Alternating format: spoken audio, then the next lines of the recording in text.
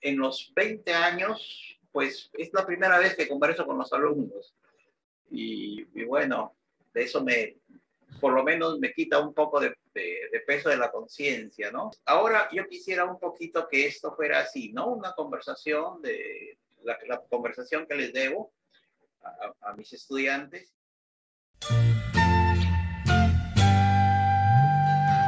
Lámpara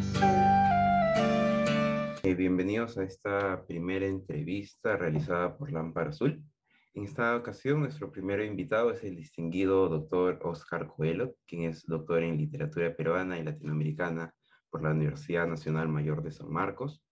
También es profesor principal de educación, dedicación exclusiva de la universidad previamente mencionada, en cuya Facultad de Letras regenta las cátedras de literatura hispanoamericana de los siglos XVI y XVII y de rítmica castellana. Además, es miembro de la Comisión de Lexicografía y Ortografía de la Academia Peruana de la Lengua, del Instituto Peruano de Cultura, del Instituto Ribagüero de la Universidad Católica, del Instituto de Investigaciones Humanísticas y del Instituto de Investigaciones Lingüísticas de la Universidad de San Marcos. Ha publicado diferentes artículos, libros académicos y poesía, proyectos de los cuales hablaremos el día de hoy. Profesor, ¿qué tal? Muy buenos días. Nos complace conversar en este espacio sobre aspectos importantes sobre su trayectoria, trayectoria eh, incluso la reciente elección como docente extraordinario de la Facultad de Letras y Ciencias Humanas. Eh, acerca de esto y de todo lo, lo, mencionado, ¿qué nos podría decir, profesor? Coméntenos qué tal está usted el día de hoy en esta entrevista. Ahora sí, en, eh, comenzaríamos con, con, las preguntas a realizar en la entrevista. Eh, en esta parte, bueno, eh, nos gustaría hablar de su faceta artística, específicamente sus dos libros de poesía, comenzando con De Dunas, Ostres y Timbres, publicado en 1979, un libro de poesía que escribió usted en su juventud, en sus épocas universitarias. Nos gustaría conocer cuáles fueron sus influencias literarias eh, para este, este primer poemario. Bien, mira, te cuento algo porque estos libros ya tienen medio siglo. Eh, si, si, no me avisan ustedes de qué, de qué se trata, y lo, y, lo, peor es que creo que algunos han, han, conseguido, eh, han visto el libro en algún lado, porque creo que no es en San Marcos, porque yo tengo un ejemplar de cada uno y no he podido regalarle a San Marcos, pero de repente algún día me, me, le doy a San Marcos este, a letras, ¿no? Porque este libro nació en la Facultad de Letras, ¿de dónde nació en la Facultad de Letras? ¿Cómo nació en la Facultad de Letras? A ver. Yo llegué, después de haber estudiado una carrera que era la que me iba a permitir ganarme la vida, ¿no? Era la carrera de profesor. Primero yo estudié educación. Y en esa época había una buena ley que eh, más o menos a los profesores les pagaba pues regular, ¿no? Y yo era jovencito, de tal manera que eso pues mi sueldo de profesor me permitió comprarme el primer año de trabajo un, un, Volkswagen. ¿Ya? Y entonces, este, claro, empecé a pagarme la carrera de literatura, porque yo sí sabía que en literatura, pues nadie te paga por escribir un libro este, o un artículo, ¿no? De tal manera que debía tener una profesión que me pagara la otra, la que me gustaba. Ya, y lo primero que hice cuando llegué a San Marcos fue matricularme en el taller de poesía de Marcos, porque los otros cursos eran cosas que me gustaban, ¿no? Por ejemplo, este, teoría literaria, crítica, todas esas cosas, interpretación de textos, claro que me gustaban. Pero yo había ido a, hacer poesía. Y entonces el, taller de Marcos me cayó muy bien, porque Marcos tenía en esa época, creo que el taller lo hacía con otro poeta que para mí es, realmente buen poeta, eh, Hildebrando Pérez. Este, eh, y creo que era un poquito asesorado por Washington Delgado. El asunto es que Marcos invitaba todas las semanas un poeta. a veces venía Paco Bendezú, a veces, eh, eh, a veces venían poetas del extranjero ¿ah? este, a recitar ahí con nosotros y a conversar de lo que estamos hablando ahora, eh, tú y yo, ¿no? De pronto un día, ah, San Marcos tenía en esa época, no sé si tiene ahora, creo que no, este, unos famosos juegos florales, así se llamaban. Juegos florales sanmarquinos, ¿no? Este, y presentabas tu poemario y la universidad, pero la universidad como universidad, ¿no? Eh, te premiaba. Yo no alcancé el premio, alcancé una mención con Rosa, pero el, el, el, libro lo hice rapidísimo. ¿Cuán rapidísimo? Como una tarea de hoy para mañana. y, y bueno, este, ahí pues, en esa época tampoco sabíamos nada de ritmo, ya te aviso, ¿ah? O sea, el, taller de poesía consistía en que tú escribías un poema, lo ibas a leer y los demás eh, te sacaban el alma con la crítica, ¿no? Este, lo cual era además bien productivo. Y se hacían amistades y enemistades a partir de ese momento, ¿no? Eh, bueno, entonces, eso fue pues el año 73, ¿ah? Eh, en que me presenté a ese concurso con, con, este libro, que tenía otro nombre, se llamaba En la Biblioteca Nacional. Y bueno, pero después me eh, encontré con un amigo, Toro Montalvo, este, y Toro Montalvo tenía un sello editorial que se llamaba Oráculo, creo que, no, Ediciones Mabú se llamaba, Ediciones Mabú. Y me animó a publicar el libro, pero le dije, yo no estoy muy interesada en publicar el libro, eh, y me dijo, sí, pero mira, te voy a enseñar cómo se hace. Y realmente me enseñó todo. Primero me enseñó cómo se publicaba un libro en esa época, que era una cosa increíble. Los libros se hacían este, prácticamente a mano. Eh, eh, no existían las cosas que existen hoy día, ¿no? eran como imprimir tarjetas de, de, cumpleaños, una cosa así, en unas máquinas chiquitas. Eh, esa es la primera cosa que me enseñó Toro Montalvo, ¿no? A imprimir un libro. La segunda fue a difundir el libro y a venderlo. Este, me hizo hacer unas tarjetitas de preventa, ¿no? Entonces yo a todos mis amigos les vendía, no sé cuánto costaría el libro, no recuerdo, pero suponte 20 soles, la preventa valía 10, ¿no? Y me compraba. Eh, para financiar la edición. Y, tercero, me enseñó a hacerle propaganda en los periódicos. Entonces ibas con los libros, que él tenía la lista, por supuesto, de quiénes eran los directores de, las páginas culturales, del comercio, de la República, de todos esos sitios.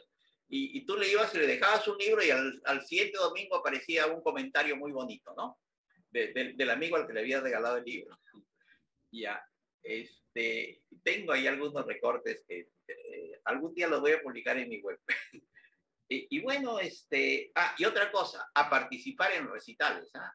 Había en esa época, no sé si conoces dónde queda ahora el Tribunal Constitucional, queda al costado de la iglesia de San Francisco, ¿no?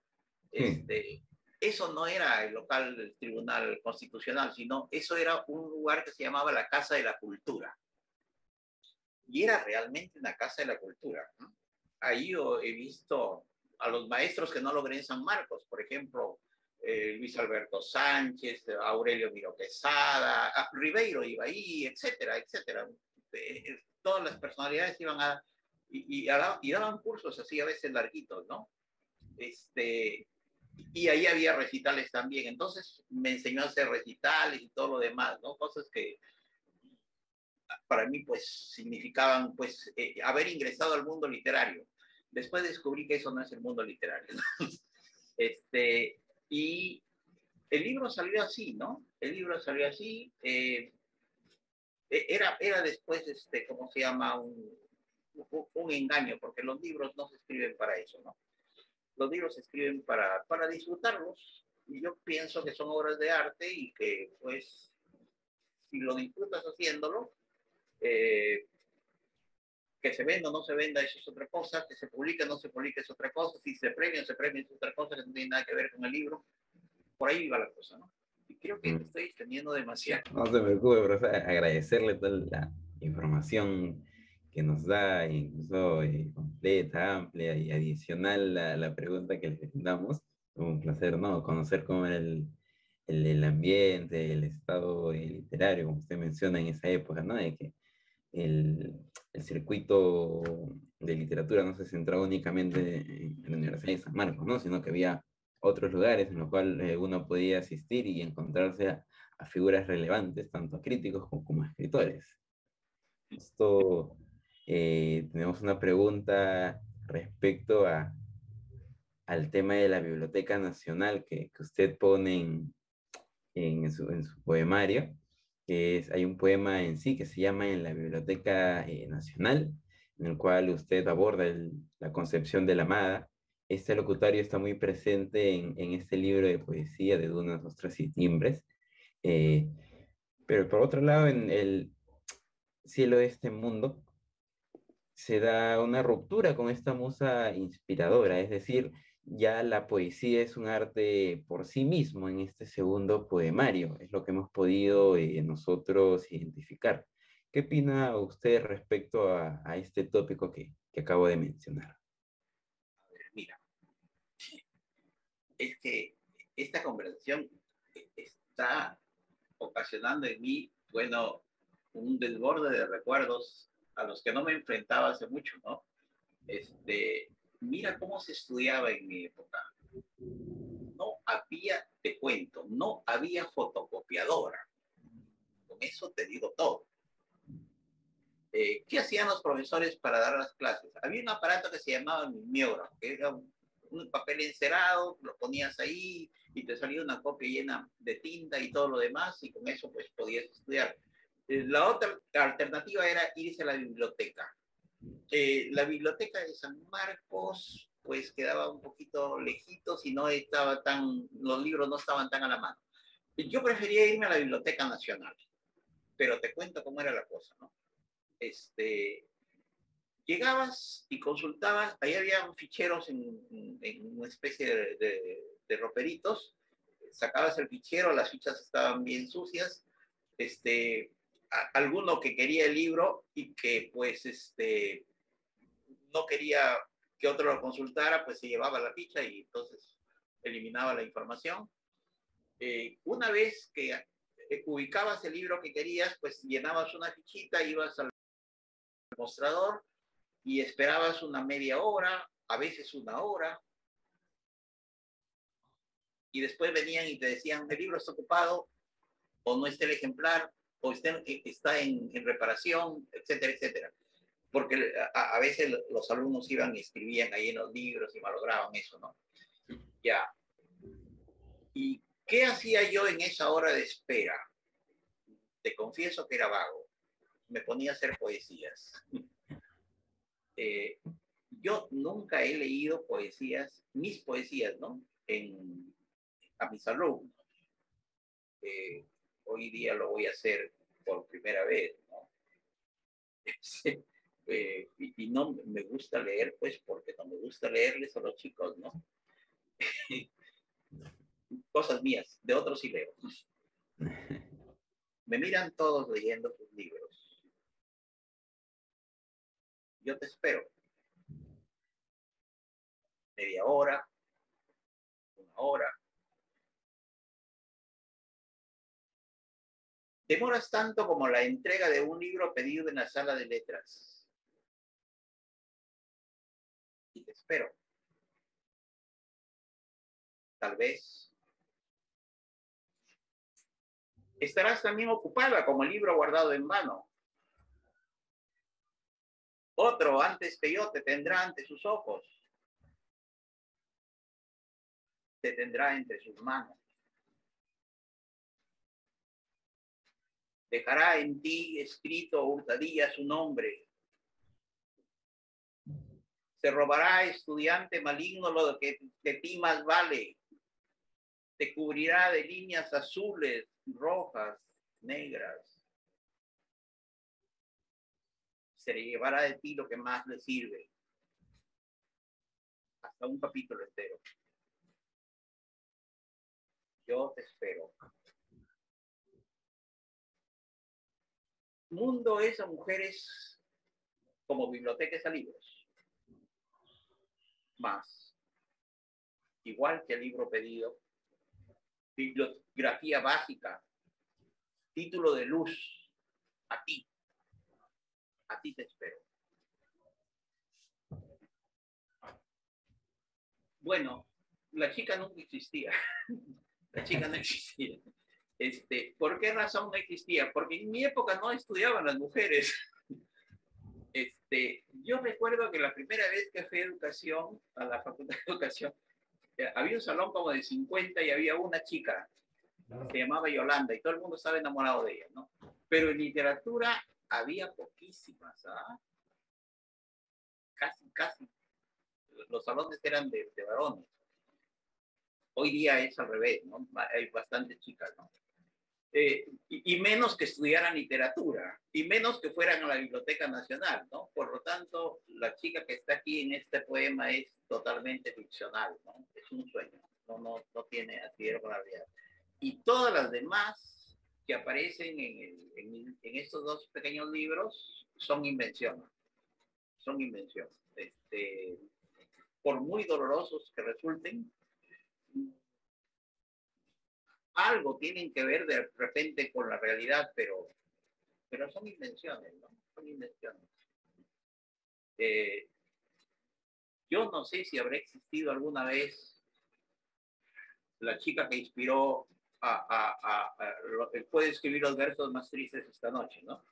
De repente sí, pero no es importante eso. Si existió o no existió, nada tiene que ver. El poema es el que vale, el que queda.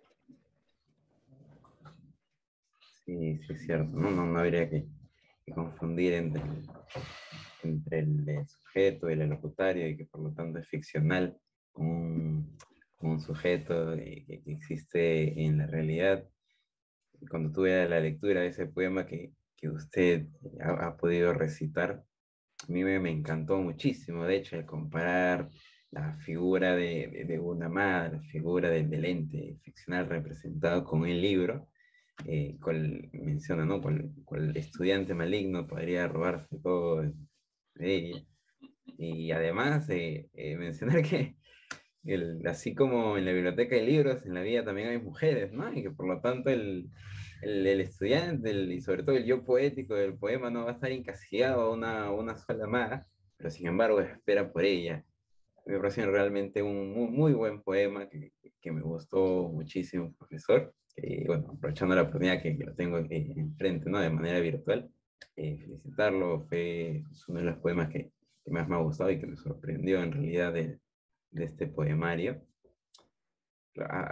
acerca de, de, este libro, en realidad, también nos llama la atención el poema 11, el cual comienza con Yo soy el hombre cansado, y nos recuerda al, al poema de Ero, El río, ¿Podría decirnos usted si hay una relación entre ambos poemas o en realidad es una coincidencia? Cuando yo llegué a San Marcos, Javier Heroy había muerto hacía como 10 años. Este, pero obviamente su recuerdo estaba y sigue, está, y sigue, y sigue vivo en San Marcos y todos le queremos, ¿verdad? Este, pero no, no. Eh, yo te diría que más, eh, en esa época teníamos un, un divo en la literatura, creo que lo sigue siendo todavía, era Borges. ¿Ah? Eh, lo que decía San Borges, eso era verdad. Este, y Borges dice que en la realidad hay siete metáforas universales, que se repiten siempre y que todo lo demás no existe. Mira, para que veas la, la, ventaja de, de, ¿cómo se llama? De, la virtualidad. De la actualidad de la virtualidad. Yo te voy a, poner algo. Eh, es chiquito, ¿no? A ver. Este, dime Dime si logras ver. Se encuentra en el prólogo del Lunario Sentimental de Lugones, publicado en 1908, creo. Ahí él sostiene esa tesis y dice que el deber del poeta es acuñar este, nuevas metáforas. Y esa fue la tesis del ultraísmo. Y todos nos lanzamos a, a metáforas. Pero ahora yo creo que es un error. Yo creo que hay, que hay un número limitado de metáforas esenciales. Digamos, el tiempo y el río. La vida y el sueño. Este dormir y, estar muerto. Las estrellas y los ojos. Las flores y las mujeres. El, el ocaso y la vejez. La aurora y la mañana. Yo diría que esas metáforas son las metáforas esenciales, corresponden a afinidades verdaderas. En cambio, si yo digo como Vicente Huidobro, los ascensores son como termómetros, digo lo que nunca se ha dicho, pero que no merecía ser dicho tampoco. Porque la afinidad entre la columna mercurial y el ascensor es meramente visual y momentánea, puede causar una ligerísima sorpresa y nada más. En cambio, cuando un poeta dice, nuestras vidas son los ríos que van a dar en la mar, que es el morir. Ahí tenemos la idea del tiempo y del río. Está diciendo algo.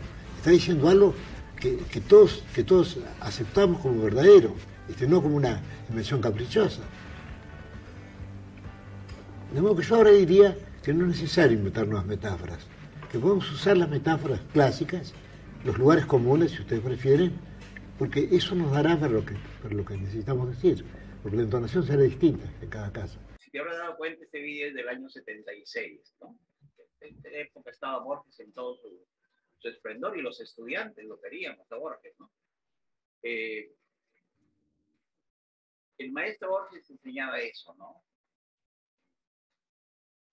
Y efectivamente la metáfora del río es una metáfora antiquísima, pues, está en la Biblia, ¿no? cuando Salmo 1, el poeta David dice que el hombre bueno es plantado junto al río como un sauce y que sus hojas nunca se marchitan, ¿no? está usando la, misma, la misma idea. ¿no? Eh, de tal manera que yo creo que si hubo alguna relación con el poema de Perú, ha debido ser una relación eh, inconsciente, ¿ah? porque pues he revisado los dos poemas, creo que tratan de cosas distintas, pero, pero no, es que en esa época pensábamos un poquito más. Y yo creo que sí, ahora que he estado recordando, yo creo que más tiene que ver con esto de acá, ¿no? Este era un poema que era algo así como el catecismo para nosotros, ¿no? Bueno, por lo menos para mí, no voy a hablar de nosotros porque en esa época todo, el mundo andaba peleado con todo el mundo, ¿no? Eh, mirar el río hecho de tiempo y agua, y recordar que el tiempo es otro río, saber que nos perdemos como el río y que los rostros pasan como el agua, sentir que la vigilia es otro sueño que sueña no soñar y que la muerte que teme nuestra carne es esa muerte de cada noche que se llama sueño. Ver en el día o en el año un símbolo de los días del hombre y de sus años convertir el ultraje de los años en una música, un rumor y un símbolo.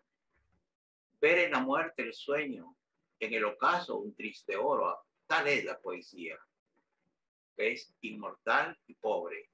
La poesía vuelve como la aurora y el ocaso. A veces en las tardes una cara nos mira desde el fondo del espejo. El arte debe ser como ese espejo que nos revela nuestra propia cara. Cuentan que Ulises, harto de prodigios, lloró de amor al divisar su Itaca verde y humilde. El arte es esa Itaca de verde eternidad, no de prodigios. También es como el río interminable que pasa y queda, y es cristal de un mismo Heráclito inconstante, que es el mismo y es otro, como el río interminable. Mira, este para mí era el catecismo si Borges decía eso, pues eso era bueno. Y entonces yo creo que está más enlazado a esta idea, ¿no? De, del río, del río borgiano. Yo soy el hombre cansado. Palabra vencida en el día y en la noche. Palabra ahogada. Soy el río paralelo al mar, río perdido. Soy el río vertical al cielo, río loco. Soy solo un río de aguas esfumadas. Es muy negativo. Me sentía nada en esa época. Eh, eh, nada, porque no había hecho todavía nada, ¿no? literariamente hablando. Muchas gracias, profesor, por, por orientarnos, ¿no? Me ha hecho recordar cómo, sí, efectivamente, el, el tópico del río es algo que se transmite que, y que se vuelve universal, no solo es un tópico dentro de la, de la literatura en español, ¿no? La cual pertenece y se inserta la, la literatura peruana. Eh, recuerdo, ¿no? Incluso se menciona Borges, incluso más atrás, eh, las coplas de la muerte de su padre, Jorge Manrique, donde el de la muerte, el, la enfermedad de la vida se, se, representa a través del río. Mucho se acordar de, de, que sí, es cierto, el, el río se, se, presenta, y sobre todo en la literatura, un tópico asociado al tiempo, a la muerte, a la vejez, a la fugacidad. Muy, muy lindo, en realidad, muy, muy sublime. Eh, profesor, justo usted mencionaba el tema del, de que en esos años en que usted publicó ese libro, en sus épocas de estudiante, todos se peleaban con todos. Queríamos eh, preguntarle, ¿no? considerando la época, época de publicación de, de, ambos libros, ¿usted cómo percibía el ambiente literario en, en, en aquellos años? En el Perú, claro. Mm, bien, mira, antes, antes de que lo olvide, te has dado cuenta cómo Jorge fastidia a Lugones, ¿no? Este, y, y le, a, a, es, ¿no? Dice, eh, no, perdón, a Huidobro. A Huidobro. Que Huidobro hace una metáfora que dice que los ascensores suben como el, el, mercurio de un termómetro. Dice, sí, es una imagen visual, es este, una imagen novedosa, pero que no debió decirse. No, no, se escucha muy bien eso, pero dice, ¿qué no debió decirse?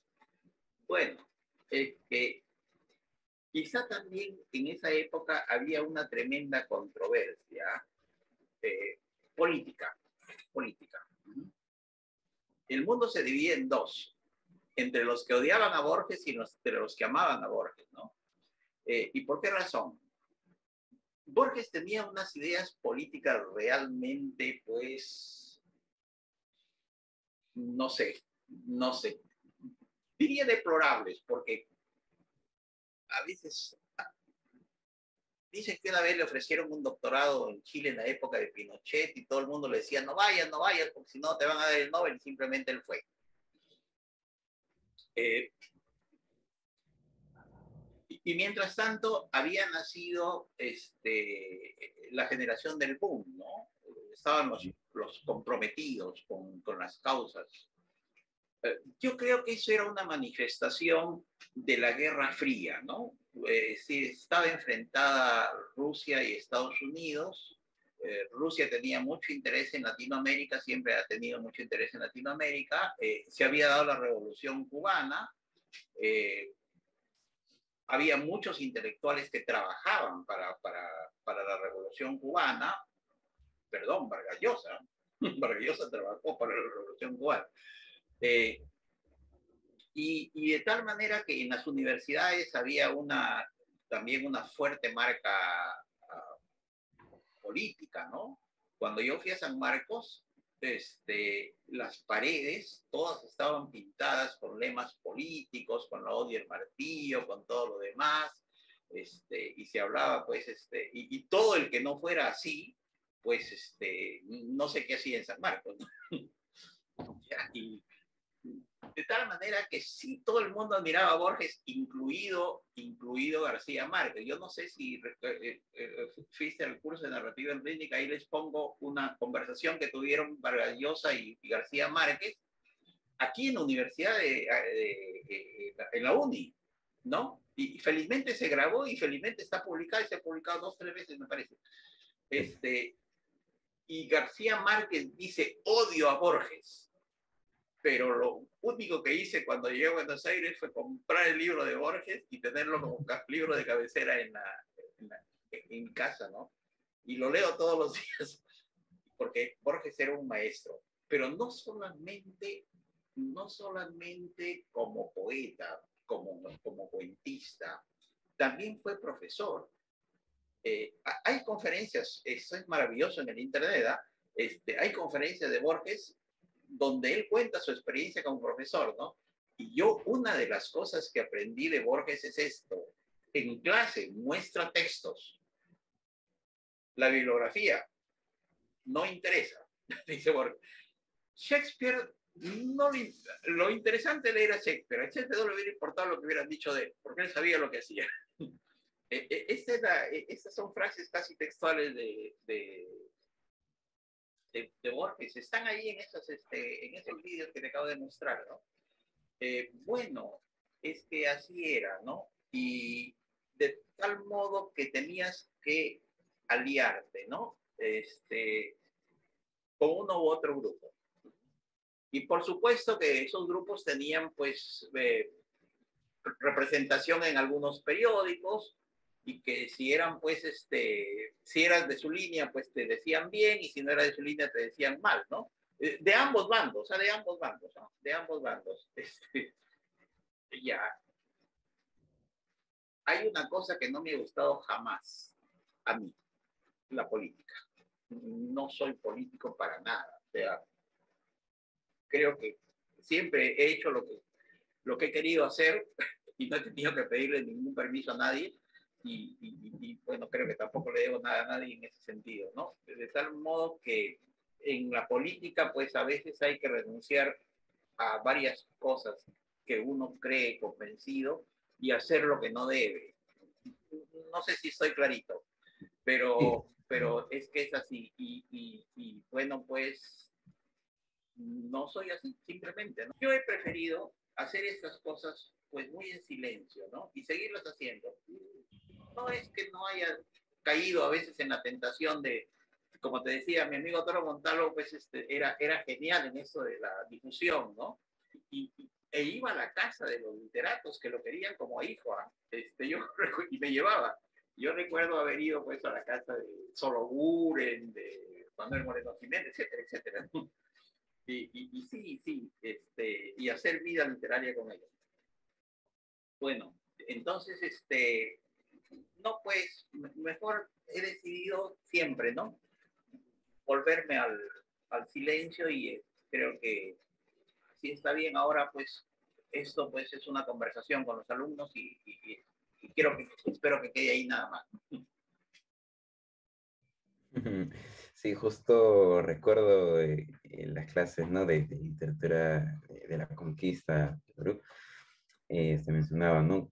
Eh, que sí no, no tiene esa, cercanía, ese, interés eh, eh, político, ¿no? El que hacer sobre todo.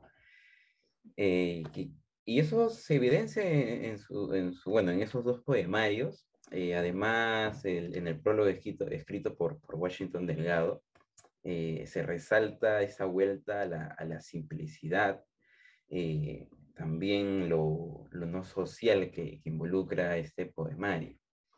Eh, ya eh, situándolo en un, contexto peruano en, los 70, comienzo de los 80.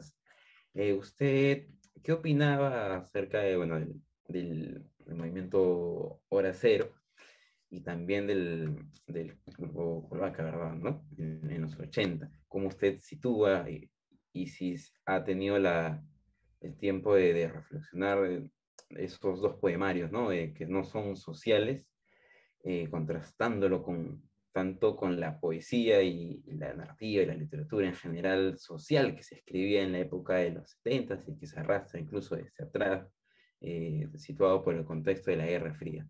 ¿Qué podría usted comentarnos al respecto de, ello? Bueno, los horas cero eran eran gente casi de mi edad, de repente un poquitito mayores, un poquito menos. Eh, ya tú sabes que a esta edad nos peleamos los meses, ¿no? Este, en esa época, pues los horas cero tenían gran propaganda.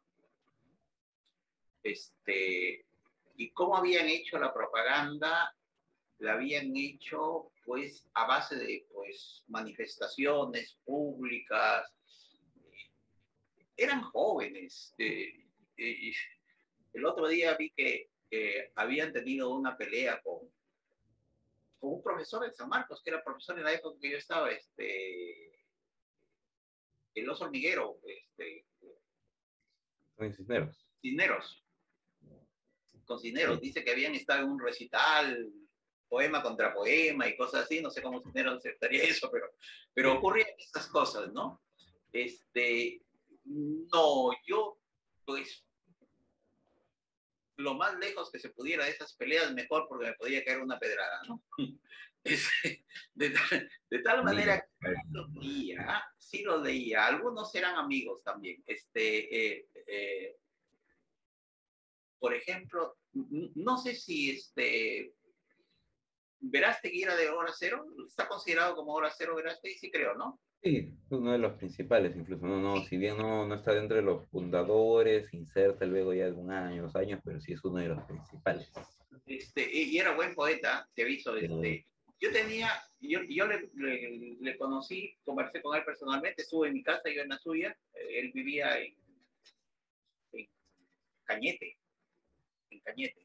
No, no, lo veía hace mucho tiempo, sé que se ha muerto hace unos años, pero este, sí era un buen poeta, ¿no? Este, por eso te digo, con algunos conversaba y tenía la más cordial relación. Este, pero mm, no, no, no este, he querido involucrarme jamás con, con estos grupos, ¿no? Este, una por, por, mi propio carácter, ¿no? ¿no? No soy de muchas apariciones eh, públicas, ¿no? Eh, y, y eso quizá pues se deba también a, a, a, mi propio trabajo de profesor, ¿no? O sea, paro metido en las aulas. En esa época enseñaba en universidades que tenían 100 alumnos en cada salón y realmente pues me salía yo pues deseoso de estar en mi cuarto encerrado, ¿no? Eh, escribiendo o leyendo un buen libro. Era, era, parte un poco de eso, ¿no? Pero eh, yo creo que sí, que pasado el tiempo, pasado los escándalos, pues quedan muy buenos poemas de los horaceros, ¿ah? muy buenos poemas de los horaceros. Pero, pero sí, fueron, fueron muy importantes. Y además, para mí que representaron algo que era curioso. Eh, en esa época había un insulto para nosotros los que estudiábamos literatura, ¿no? Nos decían literatos con carnet.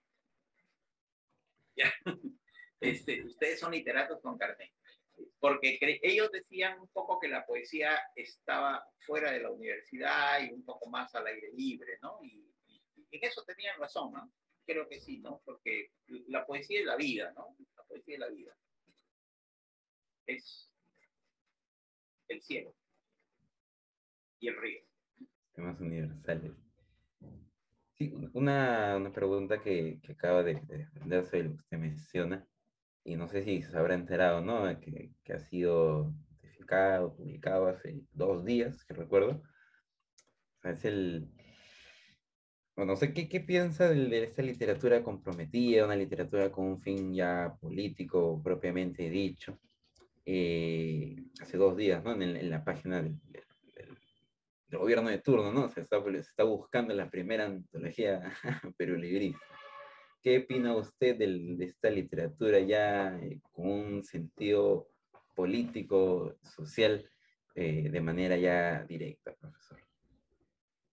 Mira, uno de los escritores que más me gusta también es Cortázar. Eh, a veces a los alumnos les pongo en la clase de narrativa este, cuentos de él graffiti, pesadilla, segunda vez. Eh, son cuentos extremadamente políticos y no hechos 20 años después de los, de los sucesos, sino hechos en el momento. Claro que los hacía en París, pero no importa. Este, el asunto es este, ¿no? Que a veces les digo a los alumnos, ¿sabes quién es Videla? Eh, ¿Sabes quién es Galtieri? No. ¿Por qué razón? Porque, bueno, ellos no habían nacido cuando esas cosas pasaron, pero en Argentina hubo unas dictaduras militares feroces, terribles, ¿no? Y Cortázar luchó desde la literatura contra esas dictaduras. Pero las dictaduras se fueron y el cuento queda como una obra de arte bellísima. Es decir, leer graffiti es todo un deleite para la inteligencia, para el buen gusto, leer segunda vez, pesadillas, etcétera, ¿no? Este, de tal manera que sí, el literato hace lo que hace y escribe lo que quiere, siempre y cuando sea una obra de arte, pues, yo no sé por qué tengo que criticarle a Eguren la niña de la lámpara azul, que no es comprometida con nadie, ¿no? En el pasadizo nebuloso por el mágico sueño de Estambul, su perfil presente, no tiene nada que ver con el Perú, su perfil presenta destelloso la niña de la lámpara azul, pero es una obra bella, es decir, ah, si es buena literatura, venga de donde venga. Y si se disfruta, ¿por qué no? no? Si se disfruta, ¿por qué no? De tal manera que para mí no tiene mucho valor ese dilema de que si eres comprometido o no eres comprometido, ¿no? Además, la literatura es ficción. Como les digo a los alumnos en clase, Paco que no existe, Superman no existe, la caperucita roja no existe, son ficciones. De modo tal que no sé si le podrás hacer un psicoanálisis a la caperucita roja. Muy bien. Gracias, gracias por, las respuestas. Ya vamos a esta parte ¿no? de, poesía, eh, de usted. Vamos a ir cerrándola.